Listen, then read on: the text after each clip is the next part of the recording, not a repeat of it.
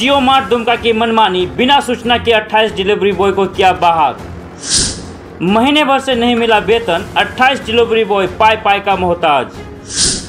मजबूरन किया जियो स्टोर को बंद, जियो मार्ट के बाहर बैठे धरने पर।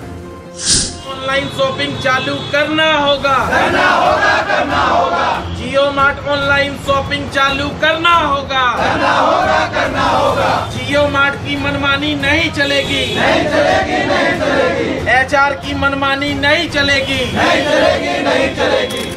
मरता क्या न करता? कहावत आपने सुना ही होगा। और ये जो है पंद्रह से बारह। कंपनी रखा जाएगा। नहीं इस प्रकार का कोई सूचना हमारे झारखंड हेड के द्वारा नहीं दिया गया था कि कैसे चलेगा? हम लोग भुखमरी के कगार में आ गए हैं, सर। इसीलिए आपको, आप लोग के माध्यम से मीडिया के माध्यम हो या निजीकरण का एक जीता जागता उदाहरण देखने को मिल रहा है। झारखंड के उप राजधानी दुमका में जहाँ पर रिलायंस जियो मार्ट के 28 डिलीवरी बॉय को कर दिया गया है बाहर। 28 डिलीवरी बॉय अपनी मांग को लेकर के जियो मार्ट के बाहर धरने पर बैठे हैं। जब उक्त संदर्भ के मामले में जियो मार्ट स्टोर के अंदर में जब हमारे पत्रकार पहुँचे और जानने की कोशिश की कि आखिर मामला क्या है तो जियो मार्ट के मैनेजर ने पत्रकार से बात करने से साफ़ इनकार कर दिया और अंदर प्रवेश करने से मना कर दिया। ऐसे में क्या कुछ मामला है पूरा? आइए जानते हैं तमाम बैठे 28 डिलीवरी बॉय से। लगातार देखा जा रहा है कि दुमका में जब से जियो मार्ट खुला है और जियो मार्ट खुलते ही विवादों में रहा है। विवाद क्या है? डिलीवरी बॉय का। पिछले बार देखा गया है कि जिस तरह से डिलीवरी बॉय का जियो मार्ट के द्वारा जो मनमानी देखा गया है कि उसकी सैलरी पंद्रह हज़ार रुपये घटा करके बारह हज़ार रुपये कर दी गई है। अब फिर जाके तमाम डिलीवरी बॉय लगभग 28 ऐसे डिलीवरी बॉय आज जियो मार्ट का शटर गिरा करके यहाँ धरने पर बैठे हुए।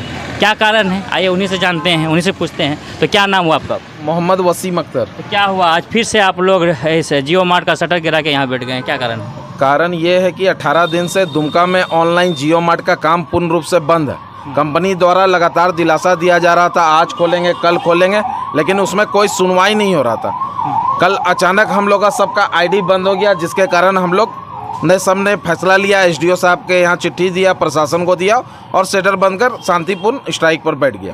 तो आप लोगों को सूचना दी गई थी कि अब आप लोगों का काम पे नहीं रखा जाएगा?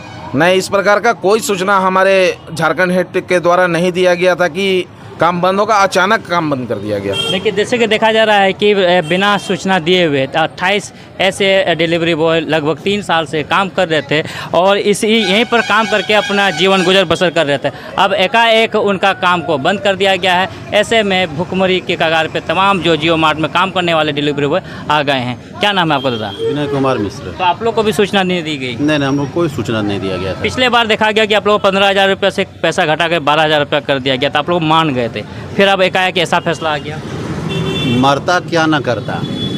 कहावत आपने सुना ही होगा। और ये जो है पंद्रह से बारह हुआ। और फिर बारह से अभी जो है कंपनी का कहना है कि अब पार्सल वाइज जो है वो लागू करना चाह रही है। तो अब बोलिए मरता जो है वो क्या न करता? लेकिन अब मरने की भी स्थिति से लोग अगर कंपनी चाहेगी कि उससे भी नीचे गिर जाओ तो ये संभव है। तो क्यों ऐसा कर रही? है कंपनी और झारखंड में और कई ज़िले में जियो मार्ट है। यहीं पर ऐसा नियम है कि सब जगह सर? ये नियम तो यहीं पर अभी लागू क्या करने का जो है प्रयास किया जा रहा है और जिसका विरोध हम लोग मिल के अभी मतलब कर रहे हैं। सही कहा इस भाई ने मरता क्या न करता। अब आप लोग को पंद्रह हज़ार से बारह हज़ार और अब आप लोग जियो मार्ट से विदाई। क्या करना आप लोग का? जी हम लोग का हाल कुछ ऐसा हो गया है कि अचानक से 28 राइडर बेरोज़गार हो गए। कंपनी हम लोगों को इस लीगल नोटिस भी नहीं दी है कि होता है कि ना कि हमको निकाला जाए तो एक महीना पहले सूचना दे दिया गया है कि आपको निकाल दिया जाएगा, एक महीने बाद आप अपना काम ढूंढ लिया ऐसा कुछ नहीं किया गया। अचानक से कल हम लोग का आईडी बंद कर दिया गया और हम लोग जब बात किए तो बोलता तुम लोग अपना काम ढूंढ लो। कोई रिस्पॉन्स नहीं दे रहा कंपनी हम लोग का। कंपनी ऐसा नहीं किया कि तीन महीना चार महीना पहले सूचना दे दिया जाए कि कंपनी घाटे में चल रही है आप लोग चार महीना बाद अपना काम ढूंढ लीजिए ऐसा कुछ बताया? जी ऐसा कुछ नहीं किया बस हाँ अठारह दिन पहले ऑनलाइन शॉपिंग बंद कर दिया था। हम लोग पूछे सर ऐसा क्यों किया गया है? तो बोला कि अभी सेल चल रहा है तो इसके बारे में सेल ख़त्म होने के बाद इससे इसके बारे में बात करेंगे। सेल ख़त्म हुआ सात तारीख को तो उस टाइम हम लोग बात किए तो बोला नहीं अब जो नेक्स्ट सेल है ग्यारह तारीख को उसके ख़त्म होने के बाद बात करेंगे। तो नेक्स्ट टाइम ग्यारह तारीख के बाद की को किए हम लोग। तो बोला कि देखो, वहाँ पे हम लोग लॉस में जा रहे हैं तो ऐसा नहीं हो पाएगा। बोले, सर, ये बात तो हम लोग पिछले बार जो हुआ था, पिछले साल, उस टाइम भी तो बात हुआ था, सर, ना, जो हम लोग पंद्रह हज़ार में थे तो आप बोले लॉस में जा रहा है तो बारह हज़ार में कर देते और यहाँ जीवन भर बारह हज़ार में ही रहेगा जियो मार्ट तो हम लोग उसके लिए तो मान गए थे, सर, अब फिर आप ये ये मुद्दा को बार बार उठा रहे सर। हम लोग काम करने दीजिए, जैसे हम लोग कर रहे हैं। इस तरह अगर आप बंद कर दिए तो सेल पे भी तो डिपेंड करेगा। आप जो बोल रहे कस्टमर कंपनी लॉस में जा रही है। तो सर तरह बार बार बंद करने से तो कंपनी लॉस में जाएगी ही ना। अगर यहाँ रेगुलर रहेगा तो ना कस्टमर बना हुआ रहेगा। आप बार बार बीच में कुछ ना कुछ रीजन ला देते, कभी डिलीवरी चार्ज ला देते हैं तो कभी व्हाट्सअप ऑर्डर ला देते। हैं तो इसमें कस्टमर को समझने में टाइम लगता है सर। कस्टमर के पास इतना टाइम नहीं है कि आपका ऐप के लिए स्पेशली बैठा हुआ रहे घर पर तो सर, प्लीज़ ऐसा हम लोग के साथ मत कीजिए, या ऐप को चालू कर दीजिए। तो हम लोग तो ऐप तो बंद कर दिए तो जिसकी वजह से अब हम लोग धरना बैठे हुए हैं। देखा जा रहा है कि निजीकरण का कई लोग कई फ़ायदे गिनाते हैं लेकिन आज आपको यहाँ समझ में आएगा कि निजीकरण के कई नुकसान भी है।